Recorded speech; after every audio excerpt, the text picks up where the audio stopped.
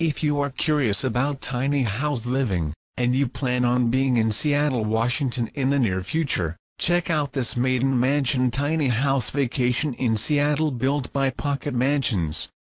The cute little cottage has one bed and one bath, but accommodates four people. The kitchen is fully equipped so you can cook and eat there if you wish. The living area contains a sofa that comfortably seats four to six people. There is a bed in the upstairs loft, and one downstairs in the living area. A washer and dryer make it your self-contained home away